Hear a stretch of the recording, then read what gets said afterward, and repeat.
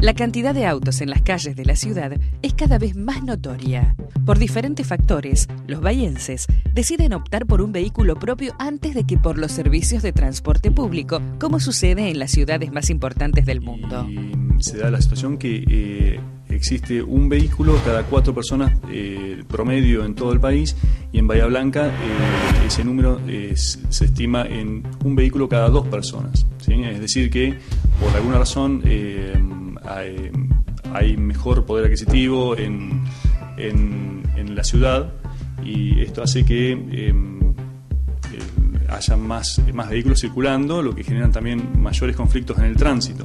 Esta situación acarrea serios inconvenientes en el tránsito de la ciudad, sobre todo en los horarios pico, donde cada vez son más notorios los embotellamientos.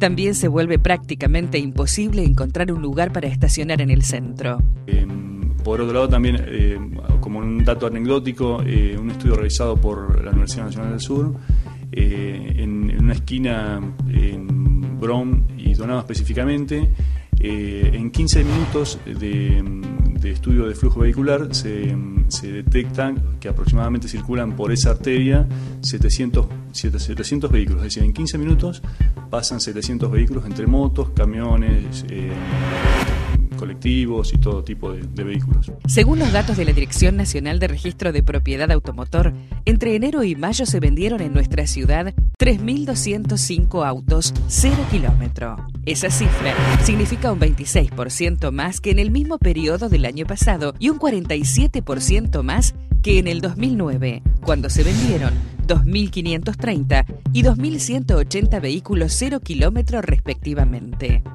Asimismo, también hubo un incremento en las transferencias de autos usados. En lo que va del año, se vendieron 3.010 vehículos usados, un 11% más que en el mismo periodo de 2010 y un 20% más que en 2009, cuando se transfirieron 2.697 y 2.508 rodados respectivamente.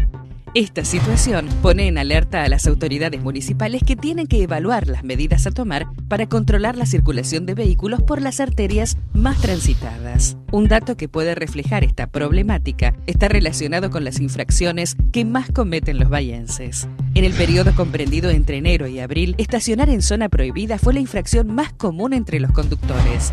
También se destacaron circular hablando por celular y manejar sin casco entre los motociclistas apuntamos a hacer fuertes controles eh, en todo lo que se refiere a la parte de tránsito, bueno, en todas las áreas también, pero específicamente el tránsito es un problema que nos, preocupa y nos ocupa. Eh, y eh, también hacemos fuertes campañas de, educación, apuntamos un poco a cambiar las conciencias de las personas. cada persona que se sube a un vehículo en sus manos tiene un arma que si no se maneja como, como corresponde, respetando las señales de tránsito y, y toda la normativa vigente, eh, puede provocar un accidente tanto para su propia persona como para terceros.